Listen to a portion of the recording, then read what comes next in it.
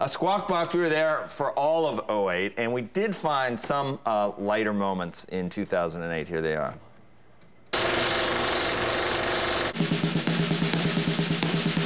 Let the madness begin As Squawk Box begins. right now.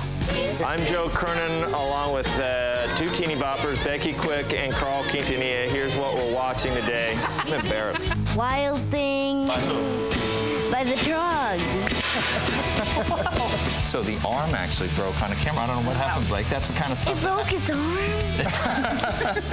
We all know what a bunghole is. It goes along You with need- oil in the What casket. Beavis and No, it goes with wine. Now, Beavis and Butthead used to say, I need TP for my bunghole. A giant chicken is running amok in the CNBC newsroom. Oh, squawk, squawk, squawk. Woo! One's actually in a buying mood. I love him.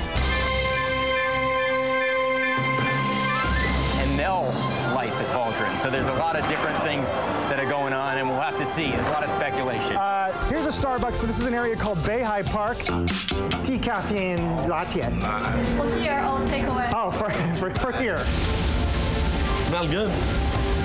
Wow, it does, it does smell good. We wanted to ask you about that lizard. Did you try that? Did you lick him? No, no.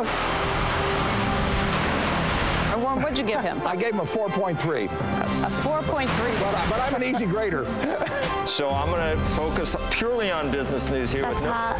with no reference to the Olympics. And- What happened to your hair?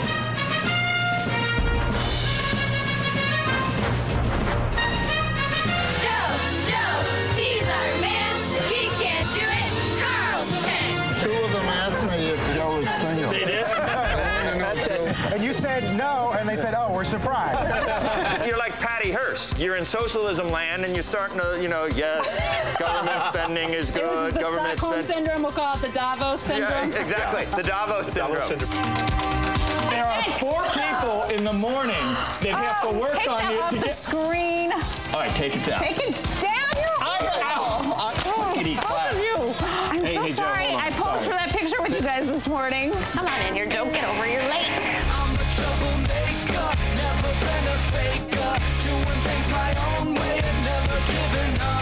All those guys at audio go, yeah, I got my hair spiked. Yeah, they go Weezer. Um, Joe, Joe, Joe. Listen, you really don't like that shirt? it's okay. Uh, You know, I'm we're, not call- sure about we're the. calling it Frankenberry milk, that, that color. That's why you guys keep putting it out. Is that why? And we'll ride a mechanical bull. You're gonna ride it instead of just slinging it. Like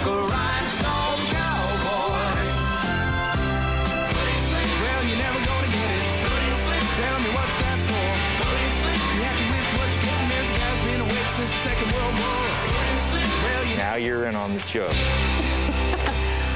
that was good.